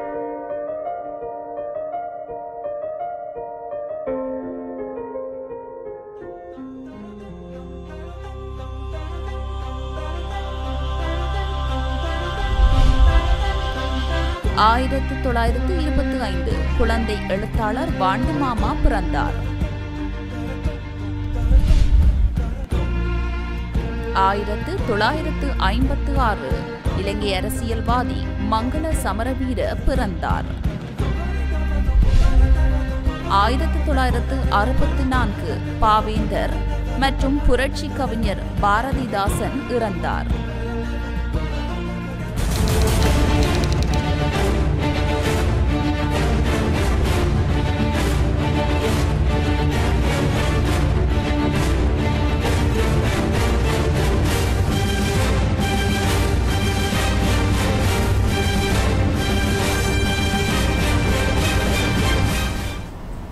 வரலாற்று குறிப்பை நாங்கள் பார்த்திருக்கின்றோம். இன்றைய நாளில் சேவை தொடர்பாக பார்க்கின்ற பொழுது அங்கே இஸ்லாமிய மதத்தில் ஒரு விடயம் கூறப்படுகின்றது. அதாவது தீ மூட்டுகின்ற பொழுது இந்த விட்டில் பூச்சிகள் அதே போன்ற ஏனைய பூச்சிகள் வந்து தீயில் வந்து விழுகின்றது. இந்த வேளையில் மனிதர்கள் என்ன செய்கின்றாரா இருந்தால் அந்த பூச்சிகள் தீயில் விழக்கூடாது என்பதற்காக வந்து அவற்றை தடுக்கின்றார். இருந்த போதிலும் அந்த பூச்சிகள் வந்து தானாக சென்று அங்கே வந்து தடுக்க தடுக்க வந்து அந்த தீயில் சென்று விழுகின்றது. அதே போன்று தானம் இறைவன் கூட வந்து எங்களை வந்து நரகத்திலிருந்து காப்பாற்றுவதற்காக எங்களுடைய இடுப்பை பிடித்து வைத்திருக்கின்றார். ஆனால் நாங்கள் என்ன செய்கின்றோம் என்றால் நாங்கள் நரகத்துக்கு தான் செல்ல போகின்றோம் என்று பிடிவாதமாக வந்து எங்களுடைய செயற்பாடுகளை மேற்கொண்டு இந்த நரகத்திற்கு வந்து செல்வதற்கு முற்படுகின்றோம் என்று கூறப்படுகின்ற விடயம் என்னத்தை எடுத்து காட்டுகின்றது என்று சொன்னால் எங்களுடைய வாழ்க்கையில் நாங்கள் மேற்கொள்கின்ற செயற்பாடுகள் மதங்கள் ரீதியாக எங்களுக்கு பல சிந்தனைகளை வந்து புகட்டிக்கொண்டு தான் இருக்கின்றார்கள். மதங்கள் கூறிக்கொண்டு தான் இருக்கின்றன. எவ்வாறு கூறினாலும் செவிடன் காதல் ஊதிய சங்கு போன்றுதான். அவர்கள் கூறுவதை கூறட்டும் நாங்கள் தன்னுடைய செயற்பாடுகளை மேற்கொள்வோம் என்றவாறாக ஒவ்வொரு மனிதர்களுடைய செயற்பாடுகளிலும் தீய செயல்களும் தீய சிந்தனைகளும் வந்து அங்கே வந்து உள்ளெடுத்திருக்கின்றது. ஒரு சிலர் தாங்கள் தீய செயல்களை செய்கின்றோம் என்று தெரியாமலேயே செய்து கொண்டிருக்கின்றார்கள். இன்னும் சிலருக்கு தெரியும் தாங்கள் செய்கின்றோம் தீய தீய செயல்தான் என்பதை வந்து தெரியும். இருந்த போதிலும் வந்து அவர்கள் வந்து யாருக்குமே வந்து பயப்படாத தன்மையில் வந்து செய்து கொண்டு இருக்கின்றார்கள் எனவே சொல்கிறார்கள் வாழ்கின்ற காலத்தில் நாங்கள் வந்து முற்றுமுழுதாக பல நல்ல விடயங்களை செய்துவிட்டால் எல்லாமே நல்லவையாக நடந்துவிடும். ஆம் இதற்கு முக்கியமான காரணம் ஆசையாகத்தான் இருக்கின்றது. மனிதர்களிடத்தில் ஒவ்வொரு ஆசைகள் குடிகொண்டிருக்கின்றன. அந்த ஆசைகள் தான் அவனை இந்த அளவுக்கு ஆட்டி படித்து கொண்டிருக்கின்றது. இந்த சேவை மனப்பான்மை பற்றி நாங்கள் கதைக்கின்ற போது பொதுவாக இந்த பொதுநலமான சேவைகள் சம்பந்தமாக நிறைய விடயங்களை கதைத்திருந்தோம். இன்னும் ஒரு முக்கியமான சேவை இருக்கின்றது அதுதான் இந்த இயற்கையை பாதுகாத்தல். இதுவும் ஒரு பொதுநலமான சேவைதான். அதாவது நாங்கள் இயற்கையை வந்து பல்வேறு வகையில் இப்போது ஆட்டி படித்து கொண்டிருக்கின்றோம். உதாரணத்துக்கு கூறப்போனால் இந்த மரங்களை வெட்டுவதன் மூலமாக. இந்த மரங்களை வெட்டுவதன் மூலமாக என்ன பாதிப்புகள் ஏற்படுகின்றது என்பதை வந்து நாங்கள் இப்போது அனுபவித்துக் கொண்டிருக்கின்றோம். அதுதான் இந்த அதிகமான வெப்ப காலநிலை. இந்த வெப்ப காலநிலை காரணமாக வந்து ஒரு ஒன்று இரண்டு மூன்று என்று உயிரிழப்புகள் ஏற்பட்டு கொண்டிருக்கின்றன. அதேபோன்று மனிதர்கள் வந்து இனிமேலும் நாங்கள் திருந்தாவிட்டால் இந்த இயற்கை சமநிலை வந்து எந்த அளவுக்கு வீரியம் அடையும் என்று நாங்கள் சொல்வதற்கில்லை. அதாவது கடந்த முப்பது வருடங்களாக நிகழாத அதிகமான வெப்ப காலநிலை என்பது வந்து இப்போது யாழ்ப்பாணத்தில் நிலவுகின்றது. இந்த வெப்ப காலநிலை மே மாதம் வரையும் நீடிக்கும் என்று கூட வளிமண்டலவில் திணைக்களம் அஹ், திணைக்களத்தினர் எதிர்வு கூறியுள்ளனர். ஆனாலும் நாங்கள் வந்து அந்தந்த காலங்களில் வந்து இவற்றை அனுபவித்துவிட்டு நாங்கள் சொல்கின்றோமே செல்கின்றோமே தவிர இவற்றுக்குரிய முன்னாயத்த நடவடிக்கைகளை வந்து நாங்கள் எவரும் மேற்கொள்வதாக தெரியவில்லை. அதாவது இப்போது இருக்கின்ற இந்த காலநிலை இப்போது அதுவும் இந்த வெயில் காலநிலையில் வந்து இடைக்கிடையே மழை பெய்கின்ற சாத்தியப்பாடுகள். அதே போன்று இந்த பங்குனி திங்கள் காலப்பகுதியில் நாங்கள் பார்க்கின்ற போது இந்த வானி அதாவது இந்த எங்களுடைய கணிப்புகளின்படி இந்த நான்காவது திங்கள் நடைபெறுகின்ற போது ஒரு மழை ஒன்று அடித்து ஊட்டும் என்று சொல்வார்கள். ஆனால் அந்த மழை என்பது வந்து இந்த முறை பெய்யவே இல்லை. அதை விட இன்றைய நாளில் பெரும்பான்மையாக இந்த சித்ரா பௌர்ணமி தினத்தில் வந்து சிறு அதாவது சிறுமாரி என்று சொல்வாங்க பெரிய மழை வந்து பெரிய மழை இங்கே பெய்கின்ற வாய்ப்புகள் இருந்தாலும் அங்கங்கே சில சில பிரதேசங்களில் கொஞ்ச நேரம் மழை பெய்கின்றது. நேற்று பெய்த மழை அதாவது சில இடங்களில் வந்து பெய்தாலும் அந்த மழை என்பது வந்து இருக்கின்ற வெக்கையை கிளப்பி விட்டு போவதை தான் நாங்கள் காணக்கூடியதாக இருந்தது. ஆனால் அது வந்து மழையாக கருத முடியாது. அதாவது எல் எல்லாமே வந்து மனிதனுடைய செயல்பாடுகளாகத்தான் இருக்கின்றன. நாங்கள் சுயநலமாக எங்களுடைய தேவைகளுக்காக வெட்டுகின்ற இந்த மரங்கள் என்பது வந்து எந்த அளவுக்கு மக்கள் ஏனைய மக்கள் மத்தியிலும் வெட்டுகின்றவருக்கும் அது பாதிப்பைத்தான் ஏற்படுத்துவதை நாங்கள் காணக்கூடியதாக இருக்கின்றது. ஆகையினால் இயற்கையை வந்து நாங்கள் பாதுகாப்பதும் வந்து எங்களுடைய சேவையாகத்தான் இருக்கின்றது. தனியே சேவை என்றால் ஏனையவர்களுக்கு உதவி செய்வது மட்டுமல்ல இவ்வாறான இயற்கைகளை பாதுகாப்பதும் என்பது வந்து சேவைக்குள் தான் அடங்குகின்றது. அந்த வகையில் நாங்கள் இயற்கை சமநிலையை குழப்பாமல் ஒவ்வொருவருமே வந்து இந்த மரங்களை நட வேண்டியதும் இப்போது ஒரு சேவையாகத்தான் கணிக்கப்படுகின்றது. ஒவ்வொருவருமே வந்து உங்களால் என்ற அளவு மரங்களை நீங்கள் நடுங்கள். இந்த மரம் என்பது வந்து எந்த அளவுக்கு முக்கியத்துவம் என்பதை வந்து நீங்கள் எல்லோருமே இப்போது பார்த்து கொண்டுதான் இருக்கின்றீர்கள் அனுபவித்துக் கொண்டுதான் இருக்கின்றீர்கள். உதாரணமாக கூறப்போனால் இந்தியாவினுடைய ஹைதராபாத் நகரத்தை நாங்கள் எடுத்துக்கொண்டால் வரலாறு காணாத வெப்பநிலை என்பது வந்து அங்கே வறட்சி என்பது வந்து நிலவி வருகின்றது. அதே போன்று நாங்கள் நேற்றைய அந்த அவை தொடர்பான தகவல்களை பார்க்கின்ற போது அங்கே வந்து கிழமையில் வந்து ஒரு நாள் தான் அங்கே நீர் விநியோகம் நடைபெறுகின்றது அந்த அளவுக்கு வறட்சி. ஏன் அந்த வறட்சி ஏற்பட்டது என்று பார்த்தால் இங்கே நீ வெப்பநிலை வெப்பநிலை காரணமாக எல்லா இடங்களும் வந்து அந்த நிலங்களை நாங்கள் பார்க்கின்ற போது வெடிப்புகள். எல்லா இடங்களிலும் வெடிப்புகள் அதே போன்று தண்ணியை பெறுவதற்கு அந்த மக்கள் எத்தனையோ ஆயிரம் மைல் தூரம் சென்றுதான் தண்ணியை பெற்றுக்கொள்ளக்கூடிய ஒரு சூழ்நிலைக்கு தள்ளப்பட்டிருக்கின்றார்கள். இந்த வறட்சி என்பது வந்து எங்களுக்கும் ஏற்படுகும் சீக்கிரமே ஏற்படும் என்பது வந்து சந்தேகமே இல்லை. ஆனால் அதற்குரிய முன்னாயத்தங்களை வந்து நாங்கள் ஓரளவுக்கு ஏனும் எடுக்காமல் விட்டால் அந்த வறட்சி என்பது வந்து முப்பது நாற்பது வருடங்கள் காத்திருக்க தேவையில்லை. இன்னும் பத்து வருடங்களிலேயே நாங்களும் வறட்சியில் தான் பீடிப்போம். ஏன் அங்காளி பக்கங்கள் அதாவது வடம தீவு பகுதிகளை நாங்கள் எடுத்துக்கொண்டால் அதிகமாக எல்லா இடங்களும் வந்து பச்சை பசலென்று இருந்த இடங்கள் இப்போது வந்து வறட்சியினால் காய்ந்து காணப்படுகின்றன. அதற்கு முக்கியமான காரணம் அதிகமான வறட்சியை தான் நாங்கள் கூறலாம்.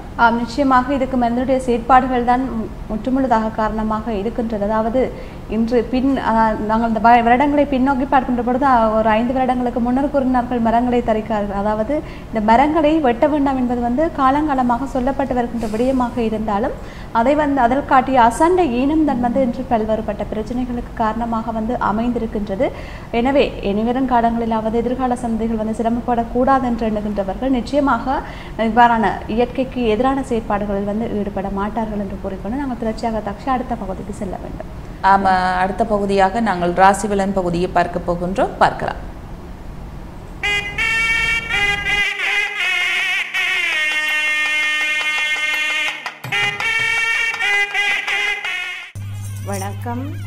இன்றைய ராசி பலன். இருபத்தி ஒன்று நான்கு இரண்டாயிரத்து பதினாறு வியாழக்கிழமை துருமுகி வருடம் சித்திரை மாதம் எட்டாம் திகதி.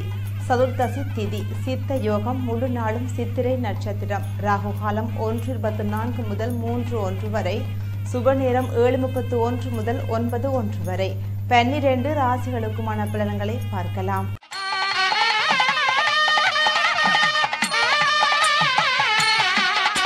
மேடம் எழுத்து பொறுப்பின்றி பிறருக்கு உதவ வேண்டாம். வியாழ கோசரத்தினால் அலைச்சலும் அகால விளை உணவும் ஏற்படும்.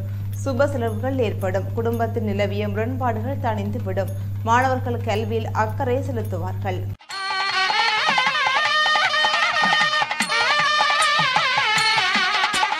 ரிஷபம் உடன் பிறந்தோருடன் சுமூக உறவை பேணுங்கள். பகைவர் திருடர் பற்றி விழிப்பாக இருங்கள்.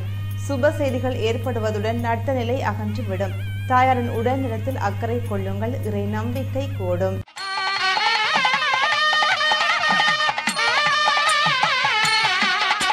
மிதுனம் புதியன சேர்ந்துவிடும் வாய்ப்பு உண்டாகும். பிள்ளைகளுடன் முரண்பாடு தோன்றும். தடைப்பட்டிருந்த பயணம் நிறைவேறும் சந்தர்ப்பம் கிட்டிவிடும். மாமன் மேடன் சுமூக உறவை பேணுங்கள் நிலுவையின் ஒரு பகுதி வந்து சேரும்.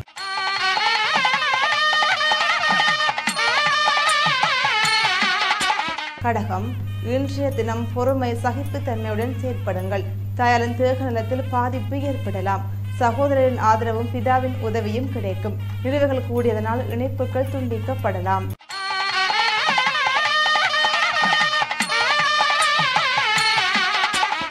சிம்மம் வியாழ கோசரம் கடன்பட வைத்து விடலாம். சன்னீஸ்வர பகவான் தைரியத்தையும் மனத்துணிவினையும் ஏற்படுத்துவார். குடும்பத்தில் காணப்பட்ட பிணக்குகள் நீங்கும். விஷ பிராணிகள் கவனம் எடுங்கள். குடும்ப சகிதம் ஆலயத்திற்கு செல்ல மனம் விரும்பும்.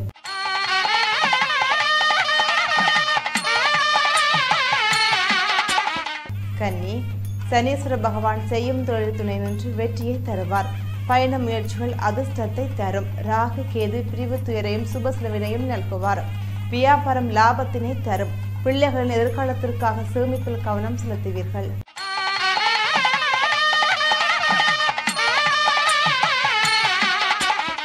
துலாம் இன்றைய தினம் தேகநலத்தில் சிறு பாதிப்பு ஏற்படலாம். புதிய பொருட்சேர்க்கை உண்டு திடீர் பயணம் ஏற்படும். அலட்சியம் நீங்கி நினைத்த காரியம் வெற்றி பெறும். முரண்பாடுகள் நீங்கி சுமூக நிலை தக்க வைக்கப்படும். குடும்ப சகஜம் ஆலயத்திற்கு சென்று வர மனம் விரும்பும்.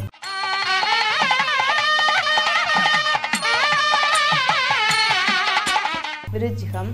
பாய்க்கிய நிலை ஒன்பதில் குரு நின்று பிதாவின் மூலம் வாழ்வின் வசந்த காலம் பிறக்கும். பிறரை நம்பி நிலை கட்டுவிடும் சந்தர்ப்பத்தை ஏற்படுத்தி விடாதீர்கள்.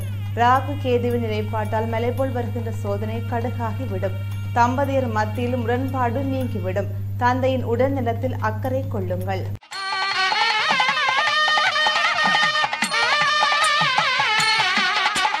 அரசு பழைய நிலுவைகள் சம்பந்தமாக வாக்கு கழகத்தை எதிர்பாருங்கள்.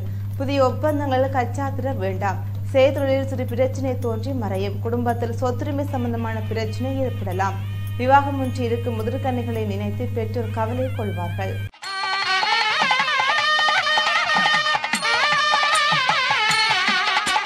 மகரம். எதிர்பார்த்த உதவி கைகட்டி விடும். புதிய முயற்சிகள் கால் பதிக்க வேண்டாம்.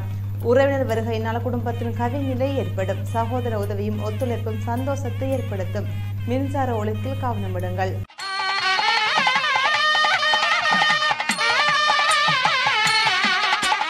கும்பம். பணம் சம்பந்தமான கொடுக்கல் வாங்கல் பிணக்கினை ஏற்படுத்தும். பிதாவின் தேக நலம் திடீரென பாதிப்படையலாம். முரண்பட வந்தவருக்கு நியாயத்தை கூறி விலகிச் செல்லுங்கள்.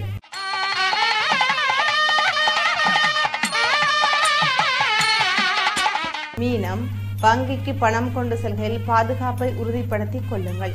புதிய ஜீவன் உருவாக்கிய அறிகுறி தென்படும். மக்கள் பற்றிய கவலை மனதை பாட்டும். தொழில் சம்பந்தமாக குடும்ப பிரிவு ஏற்படும். நோய் குணமடைய மருந்தில்லாத மருத்துவத்தை நாடுவீர்கள். பன்னிரண்டு ராசிகளுக்குமான பலன்களை பார்த்திருந்தோம். இன்றைய தினம் ராசி பலன்களை கணித்து வழங்கியவர் ஜோதிட வித்யாரத்னா வி. ஏ. சிவராசா. மீண்டும் நாளைய தினம் ராசி பலன் நிகழ்ச்சியோடு உங்கள் சந்திக்கலாம். வணக்கம்.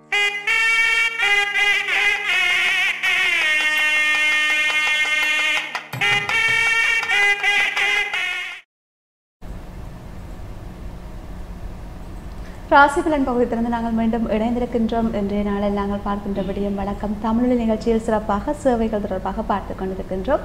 இந்த சேவைகள் வந்து அங்கே வந்து கூறப்படுகின்ற இன்றைய காலகட்டத்தில் குறிப்பாக சொல்வார்கள் ஒவ்வொரு பெற்றோர்களும் வந்து பிள்ளைகளை வளர்க்கின்ற பொழுது நன்றாக படிக்க வேண்டும் உழைக்க வேண்டும். வாழ்க்கையில் வந்து நீங்கள் வந்து ஒரு நல்ல நிலையில் வந்து அடைய வேண்டும் என்று கூறித்தான் எல்லா பெற்றோர்களும் வந்து வளர்க்கின்றார்கள். பெரும்பான்மையாக இந்த சேவை செய்ய வேண்டும் என்று கூறி வளர்க்கின்ற பெற்றோர்களுடைய எண்ணிக்கை குறைவாக இருக்கின்றது என்ற என்கின்ற ஒரு அர்த்தம் இருக்கின்றது. எனவே இந்த சேவை என்பது அங்கே வந்து சிறிய வயதிலிருந்தே வந்து கூறி செயற்படுத்த வேண்டிய ஒரு விடயமாகவும் இருக்கின்றது. அது மன ரீதியாக செய்ய வேண்டிய விடயமாக இருக்கின்றமையால் அதற்கு ஒவ்வொரு பிள்ளைகளையும் பழக்கப்படுத்த வேண்டிய பொறுப்பும் இருக்கின்றது. அதேபோல இன்னும் ஒரு விடயம் இருக்கின்றது. இந்த நாட்டுக்காக சேவை செய்ய முற்பட்டால் அவர்கள் வீட்டிற்கு உதவ மாட்டார்கள் என்றும் வந்து கூறுகின்ற பெரியோர்களும் வந்து இருக்கின்றார்கள். அவ்வாறாக எல்லாம் இல்லை என்று பல நாட்டுக்கு சேவை செய்த பெரியோர்களை நாங்கள் பார்க்கின்ற பொழுது இன்றும் எங்கள் மத்தியில் வாழ்ந்து கொண்டிருக்கின்றார்கள் இறந்த பின்னர் கூட. அந்த வகையில் இந்த சேவை என்பது வந்து எந்த அளவுக்கு முக்கியத்துவம் மிக்கது என்பது சம்பந்தமாக நாங்கள் இன்றைய நாளில் கதைத்து கொண்டிருக்கின்றோம். அதிலும் குறிப்பாக இந்த சமூகங்களுக்கு செய்கின்ற சேவை அதே போன்று நாங்கள் இயற்கைக்கு செய்கின்ற சேவைகள் சம்பந்தமாக கதைத்து கொண்டிருக்கின்றோம். இன்னொரு சேவை இருக்கின்றது அதுதான் இந்த தானம். தானம் வழங்கல் என்று நாங்கள் கூறுகின்ற போது இங்கே வந்து தானம் என்றால் நாங்கள் எங்களுடைய இறந்த அதாவது இறந்ததன் பின்னர் வந்து நாங்கள் எங்களுடைய உடல்கள் வந்து மண்ணுக்குள் தான் உக்கப்போகின்றது போகின்றது. அந்த மண்ணு மண் தின்ன போகின்ற எங்களுடைய உடல்களை வந்து நாங்கள் ஏனையவர்களுக்கு பிரயோசனமாக வழங்குவதும் வந்து ஒரு சேவையாகத்தான் இருக்கின்றது. அந்த வகையில் இறந்த பின்னர் எங்களுடைய கண் மூக்கு வாயை வைத்துக்கொண்டு நாங்கள் எதுவும் செய்ய போவதில்லை. இதயம் என்பவற்றை வைத்து அவற்றை வந்து இல்லாதவர்களுக்கு தானம் செய்வது வந்து எந்த அதாவது நாங்கள் இன்னும் இறந்த பின்னரும் வாழக்கூடிய நிலைப்பாட்டு தான் ஏற்க ஏ- ஏற்படுத்துகின்றது. அதாவது கண்ணை வந்து ஒரு இறந்தவருடைய கண்ணை வந்து நாங்கள் இன்னொருவருக்கு தானமாக வழங்குகின்ற போது அந்த கண் மூலமாக நாங்கள் வாழ்ந்து கொண்டிருக்கின்றோம் என்கின்ற ஒரு அஹ், மாயை வந்து மாயை என்ற ஒரு உண்மையை வந்து நாங்கள் ஏனையவர்களுக்கு ஏற்படுத்தலாம் அதே போன்று இதயம் இல்லாதவர்களுக்கு இதயத்தை வந்து தானமாக வழங்குதல். அதே போன்று சிறுநீரகம் என்று எல்லா விதமான உடல் உறுப்புகளையும் வந்து நாங்கள் தானமாக வழங்குகின்ற போது நாங்கள் இறந்த பின்னரும் நாங்கள் இன்னொருவர் மூலமாக வாழ்ந்து கொண்டிருக்கின்றோம் என்கின்ற ஒரு தோற்றப்பாட்டை வந்து உருவாக்கும். இது வந்து நாங்கள் இறந்த பின்னரும் எங்களை இன்னொருவர் வந்து போற்றி கொண்டிருக்கின்றார் என்பதைத்தான் அதாவது கண் தெரியாத ஒருவர் வந்து எங்கள் கண் மூலமாக ஒளியை பெறுகின்ற போது அவர் வாழ்நாள் முழுவதும் எங்களை வாழ்த்தி கொண்டிருப்பார். இவ்வாறு பலர் வந்து நினைப்பதில்லை. பலர் வந்து இறந்த பின்னரும் தாங்கள் அழகாகத்தான் இருக்க வேண்டும் என்று நினைக்கின்றார்களே தவிர இறந்த பின்னர் என்ன ஒரு அழகு என்பதை வந்து நாங்கள் ஏற்றுக்கொள்வதில்லை. ஆகையினால் இது விடயத்திலும் வந்து ஒரு சேவை மனப்பான்மை என்பது வந்து நாங்களுடைய எங்களுடைய மக்கள் மத்தியில் வளர வேண்டும். ஆனால் இப்போது அதிகமானவர்கள் வந்து இந்த உடல் உறுப்பு தானங்கள் செய்வதை நாங்கள் காணக்கூடியதாக இருக்கின்றது. அதாவது இந்த நல்ல நாள் வைபவங்களில் வந்து குறிப்பாக இந்த பிறந்த நாட்களாக இருக்கட்டும் அல்லது அவர்களுடைய உற்றா உற்ற உறவினர்கள் அதே போன்று நண்பர்களுடைய நினைவு நாட்களாக இருக்கட்டும் அந்த காலப்பகுதியில் வந்து வைத்தியசாலைகளுக்கு சென்று உறுப்பு தானங்கள் செய்வதை நாங்கள் காணக்கூடியதாக இருக்கின்றது. அதே போன்று அடுத்ததாக இந்த இரத்த தானம். இரத்த தானம் தான் இப்போது மிகப்பெரிய ஒரு பிரச்சனையாக இருக்கின்றது. வைத்தியசாலைகளில் பார்க்க போனால் ஒவ்வொரு வகையான குரூப்புகளுக்கும் வந்து தட்டுப்பாடு தான் நிலவுகின்றது. அந்த வகையில் ஒவ்வொருவர் மத்தியிலும் வந்து இந்த இரத்த தான விழிப்புணர்வு என்பது வந்து ஏற்படுத்த வேண்டியது ஒரு முக்கியமான கட்டாயமாக இருக்கின்றது. இதுவும் வந்து ஒரு மகத்தான சேவை என்றுதான் நாங்கள் கூற வேண்டும். ஆம் நிச்சயமாக. குறிப்பாக இந்த அதிகரித்து வருகின்ற விபத்துக்கள் காரணமாகவே வந்து அதிக ரத்தம் வந்து இங்கே வந்து தேவைப்படுகின்றது. இருந்த போதிலும் வந்து ரத்த தான நிகழ்வுகள் வந்து பரவலாக எங்களுடைய பிரதேசங்களில் வந்து இடம்பெற்றுக் கொண்டு வருகின்றன. மற்றவர்களும் வந்து இதற்கு வந்து உதவி புரிய குறிப்பாக இளைஞர்கள் மத்தியில் இந்த இரத்த தானம் என்பது வந்து அதிகமாகத்தான் பகிரப்படுகின்றது. இது ஒரு வரவேற்கத்தக்க விடயம். அதாவது அவர்களுடைய நண்பர்களுடைய இறந்த வைபவங்கள் இறந்த நாள் கொண்டாட்டங்கள் அதே போன்று ஞாபகார்த்த விழாக்களின் போது ஒவ்வொருவருமே வந்து அதாவது ஒரு குரூப்பாக சேர்ந்து இரத்த தானங்கள் வழங்குகின்றார்கள் அல்லது ஏதாவது ஒரு அமைப்புகள் மூலமாக வந்து அவர்கள் இரத்த தானங்களை வழங்குகின்றார்கள். குறிப்பாக இந்த யுவதிகள் மத்தியில் இரத்தம் கொடுப்பதில் வந்து ஒரு சிக்கல் இருக்கின்றது. அதாவது தவறான எண்ண எண்ணக் கொள்கைகள். சிலர் நினைப்பார்கள் ரத்தம் கொடுத்து விட்டால் தங்களுடைய உடல் பருமன் அதிகரித்து விடும் என்கின்ற ஒரு பயம் காரணமாக வந்து கொடுக்க நினைக்கின்றவர்களும் கொடுக்காமல் விடுகின்றார்கள். அதில் வந்து இன்னும் மற்றவர்களும் வந்து சப்போர்ட்டாக இருக்கின்றார்கள். கொடுத்துடாத உடல் வந்து குண்டா வந்துடும் கொடுத்துடாத என்று தடுப்பவர்களும் இருக்கின்றார்கள். இது வந்து ஒரு மூடத்தனம். அதாவது உடல் நாங்கள் நீங்கள் ரத்தம் அதாவது ஒரு வைத்தியர்க்குரிய அறிவுரை தான் இது. ர- ரத்தம் நீங்கள் கொடுத்து விட்டீர்கள் என்பதற்காக நீங்கள் அதையே சாட்டாக வைத்து அதிகமாக சாப்பிட்டால் உடல் பருமன் வைக்கும். சாதாரணமாக நீங்கள் சாப்பிடுவது போன்று சாப்பிட்டால் எதுவித உடல் பருமன் வந்து உங்களுக்கு ஏற்படாது என்று கூறியிருக்கின்றார் ஆகையினால் தைரியமாக நீங்கள் வந்து இரத்த தானம் அளிக்க விரும்பினால் நீங்கள் இரத்தத்தை வந்து வழங்குங்கள். அதற்காக உடல் பருமனாகி வந்து விடும் என்கின்ற ஒரு பொய்யான குற்றச்சாட்டை வந்து நீங்கள் சுமத்தக்கூடாது. ஆம் நிச்சயமாக. எனவே தானங்கள் அதை போன்று எங்களால் முடிந்த உதவிகளை நாங்கள் வந்து எங்களுடைய வாழ்நாள் முழுவதும் வந்து செய்ய வேண்டும் என்பதுதான் இன்றைய நாளில் எங்களுடைய இந்த நிகழ்ச்சியுடைய முக்கிய நோக்கமாக அமைந்திருக்கின்றது. தொடர்ச்சியாக நாங்கள் அடுத்த பகுதியை பார்க்க போகின்றோம். தக்ஷா சித்த மருத்துவ பகுதியில் இன்று என்ன சித்த மருத்துவம் தொடர்பாக நாங்கள் பார்க்கலாம்.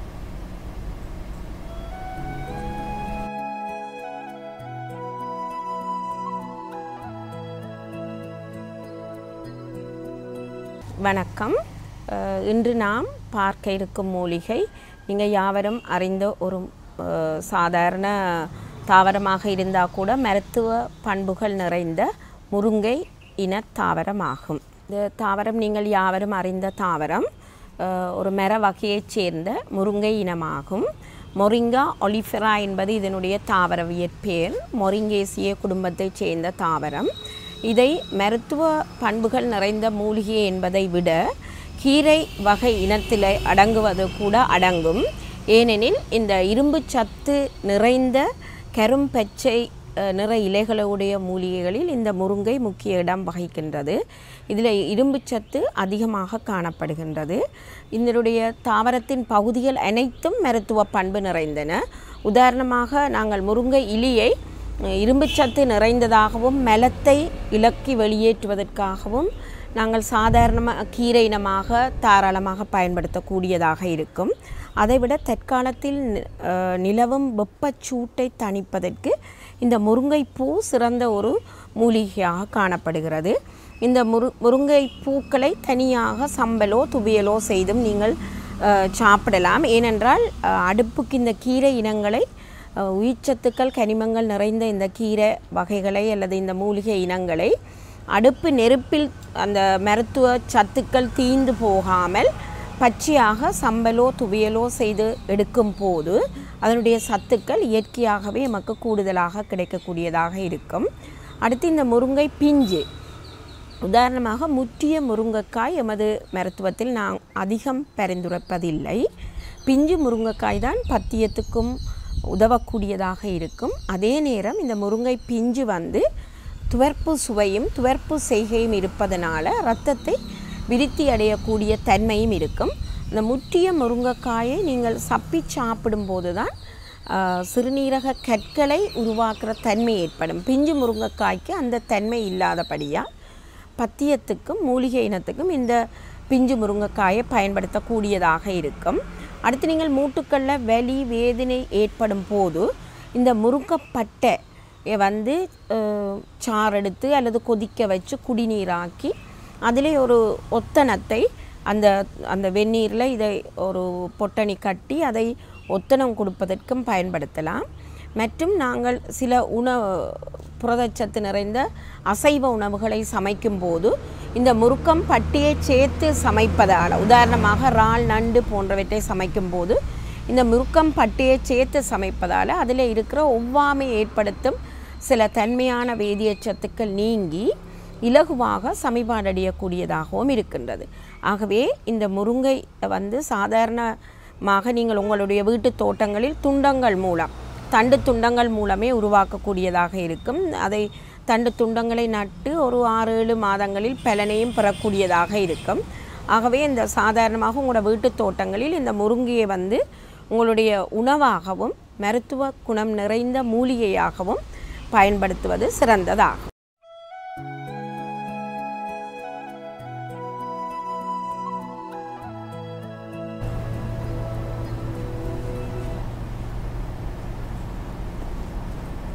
சித்த மருத்துவ பகுதியிலிருந்து நாங்கள் மீண்டும் இணைந்திருக்கின்றோம். அந்த வகையில் பார்க்கின்ற பொழுது சமூக சேவைகள் எங்களுடைய வாழ்வில் எவ்வளவு அவசியம் சமூகத்திற்கு எவ்வளவு அவசியம் ஒவ்வொரு மனித வாழ்க்கையிலும் அது எவ்வளவு முக்கியம் என்பது தொடர்பாக இன்றைய நாளில் நாங்கள் பார்த்திருக்கின்றோம். இன்றைய நாளில் இத்துடன் இந்த பகுதியை நாங்கள் நிறைவில் கொண்டு வரப்போகின்றோம் ஆம் அந்த வகையில் என்று பல விஷயங்கள் சம்பந்தமாக கதைத்திருந்தோம். சித்திரகுப்தனார் கதை கூட உங்களுக்கு கூறியிருந்தோம். அதே போன்று என்று சித்ரா பருவம். குறிப்பாக ச- ஆலயங்களில் வந்து மிகவும் அஹ், பிரசித்தி பெற்ற பூஜைகள் கூட நடைபெறப் போகின்றது. அதே போன்று தாயை இழந்தவர்களுக்குரிய விரதம் என்று அனுஷ்டிக்கப்படுகின்றது. எல்லோருக்குமே இந்த விரதங்களும் சிறப்பாக அமைய வேண்டும். அதே போன்று பூஜை வழிபாடுகளிலும் இந்த இன்று மக்கள் சந்தோஷமாக ஈடுபடுங்கள். அதே போன்று இந்த சமூக சேவை சம்பந்தமாக நாங்கள் பார்த்திருந்தோம். இவ்வாறு எல்லாவற்றையும் திரட்டி பார்க்கின்ற போது எல்லாமே நாங்கள் செய்கின்ற அனைத்து காரியங்களும் வந்து இறைவன் பார்த்து கொண்டிருக்கின்றான். நல்ல காரியங்களாக இருந்தால் அதற்குரிய பிரதிபலன்கள் வந்து நாங்கள் அஹ், சந்தோஷமாக அனுபவிக்கலாம். நல்ல காரியங்களுக்கு கிடைக்கின்ற பிரதிபலன்களை. ஆனால் தீய காரியங்கள் செய்கின்ற போது அவை பல மடங்கு எங்களுக்கு திருப்பி கிடைக்கப்பெறும். ஆகையினால் ஒவ்வொரு காரியங்களையும் செய்கின்ற போது நாங்கள் பார்த்து பார்த்து அவதானமாக செய்து கொள்ள வேண்டும். அந்த வகையில் சேவை என்பது வந்து எந்த அளவுக்கு முக்கியமானது என்பது சம்பந்தமாகவும் நாங்கள் பார்த்திருந்தோம். தொடர்ந்து இந்த பகுதியை நாங்கள் நிறைவுக்கு கொண்டு வந்து சிறிய விளம்பரங்களை எடுத்துக்கொண்டு பத்திரிகை செய்திகளூடாக இணைந்து கொள்வோம்.